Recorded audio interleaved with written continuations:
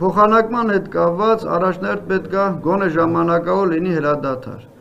Այս պահին հրադադարի միտում չկա, մնացած ինֆորմացիային ես չեմ տիրապետում։ Թշնամու սահմանագոտում գտնվող զոհերի վիրավորների թիվը ես այս պահին չեմ կարող հայտարարել, քանի որ ճշտման կարիք ունի, դեռ ակտիվ փուլը ընթանում է, հրադադար չկա, որպեսզի մենք կարողանանք այդ ամեն ինչը հասկանալ։